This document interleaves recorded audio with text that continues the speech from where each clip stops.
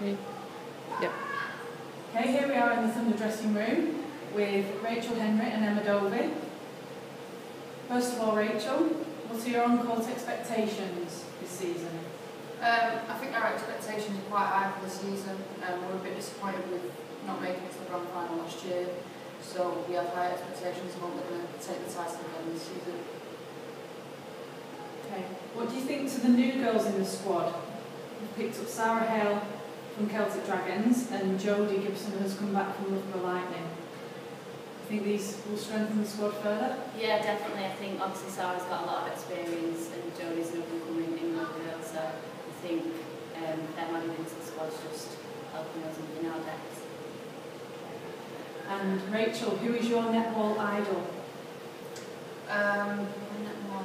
um, probably Timmy George from New Zealand. She's quite a short player like me, so yeah, Timmy George.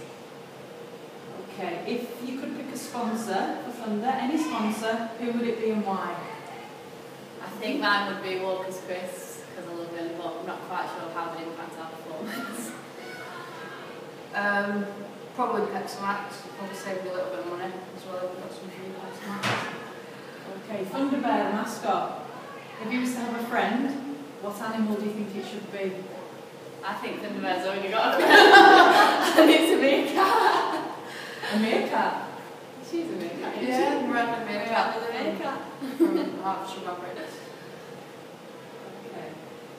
So let's discuss the Thunder girls. Which of the Thunder players is the best dancer? Um, there's a But couple. there is a couple. For comedy value, I'd probably say Krista, but um, Mark's Laura's probably the Yeah, best. we've seen her in a dance, probably. We are, and Kerry's also got the odd move up too. Kerry Almond. Okay, and who would you say is the best dressed? Um, Jodie's into Jodie, fashion yeah. completely. She's studying fashion, so say Jodie. Okay, and on the other side of it, who's the worst dressed? right. Worst dressed. Um, I think Krista gets the bit taken out of her kids. um, so yeah, we'll, say Krista. Okay, and who's always first to the refreshments? Uh, not race. It's either Alice Travis's dad, and if he doesn't beat us, we're just racing to get there first. Who would you say is the fittest in the squad? it to you?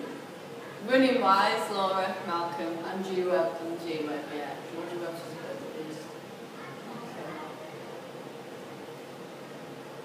And in the Thunder changing room, what are the favourite tracks that are always featured on the playlist?